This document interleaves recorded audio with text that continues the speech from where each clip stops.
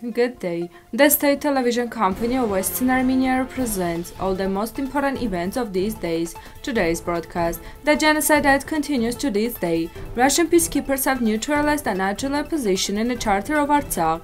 The Greek parliament will continue to demand recognition of the genocide of Armenians from the international community. We need to see what can be done to make the activities of Russian peacekeepers more effective. Nikol Pashinyan. The consequences of impunity for the genocide are visible today. The Armenian community of Australia will hold justice marches, recognize the treasures of Artsakh and Berd. The Yazidi community celebrates the new year, Malaket Taus. The presentation of the book by Mihran Perkic, an Armenian from Dersim, will take place. The genocide of Armenians is one of those events that will never be forgotten, even after several centuries. No one can and should consider this as a problem of the past or of history. Its devastating consequences and the pain caused are still fresh, just like yesterday. Despite all the efforts on the murderers of deny and neglect, the genocide remains a fact in a criminal case on the volumes of Turkish state and continues to this day. The first major genocide of 20th century was actually a massacre of women and children. It was massacre of civilization and culture. This is the complete destruction of people, their forcible removal from the lands where they lived for thousands of years. From Talat to Mustafa Kemal and from there to Erdogan, the biggest obstacle to attempt to create a homogeneous Turkish nation right now is the presence of millions of Kurds and other national minorities living in the lands of Western Armenia. The Russian peacekeeping contingent neutralized artillery positions near the village of Chartar in the Republic of Artsakh during engineering works. This is reported by the Telegram channel of the peacekeeping contingent of the Russian Federation. In total, two 152 mm cannons and 60 shells were destroyed at this position.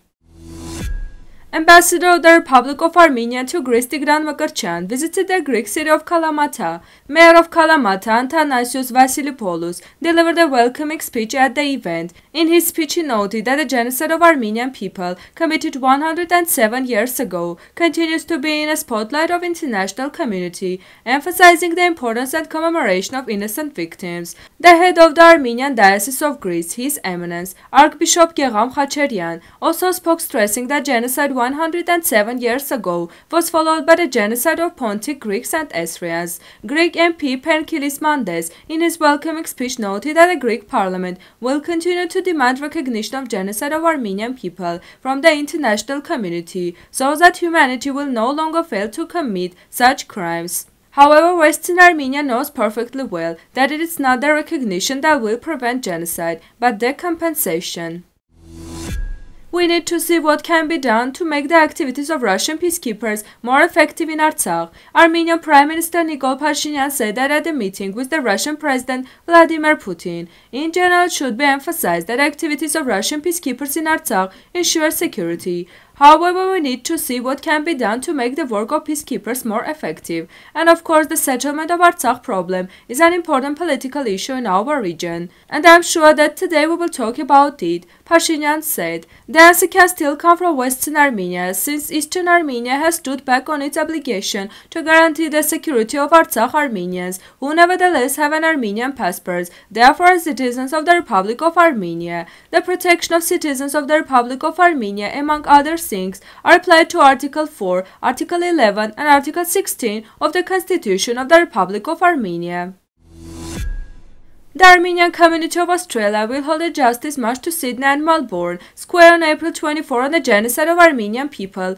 Memorial Day. The purpose of the march is to convey to the Australian authorities that Turk's recognition of the genocide of Armenians, Assyrian and Greeks in 1915 is an important and urgent need. Like more than 3,000 countries of the world, international structures, various states of Australia have recognized the genocide of Armenians. The Australian government should also do the same. Handaberd Fortress is located 1 km east of Kanaravan village of Shahumyan region of the Republic of Artsakh on the right bank of the Lev River. The fortress is located at an altitude of 1,665 meters above sea level on the top of an impassable wooded mountain. The fortress is surrounded on all sides by steep cliffs. A mighty wall rises above the head of the natural barriers of the mountain, the height of which reaches 8 meters and the thickness is 1.3 meters. Handaberd was first first mentioned in 854. 800 meters to the east of the fortress are the ruins of Handaberd Monastery. In the first half of the 19th century, the prince of the northern possession of Artsakh, Aternerser Sambadyan, built all the necessary means for safe and long-term protection. According to the inscription of the Khachkar preserved in Dadivang in 1142-1182, the fortress belonged to the prince Verin Khachen Hassan Vakhtangyan. A fortress called Handaberd is also mentioned by Kirakos Gandzaketsi.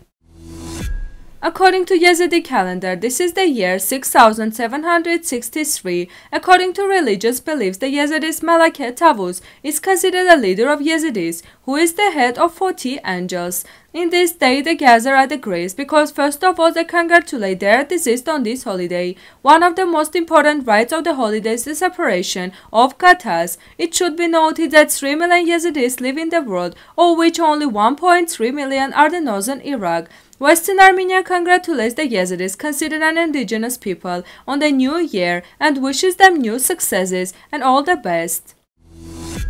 The Center for the Study of Middle East is pleased to invite you to participate in the presentation of the book Traces of Arwa Existence by the organizer of Dersim Armenians, public figure, publicist, publisher Mihran Prkich, which describes the history of the return of Dersim Armenians to their own identity. The book was published in two languages. The presentation of the book will take place in the hall of Tekeyan Cultural Union in Yerevan on April 22 and 6 p.m. 2022.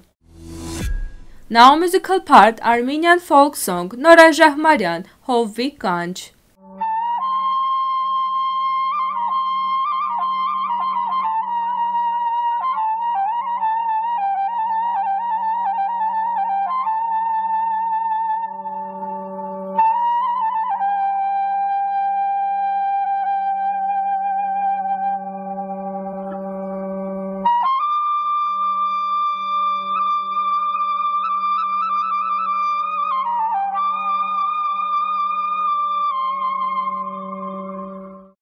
The full version of this video is available on Western Armenia's YouTube channel. This was all for today.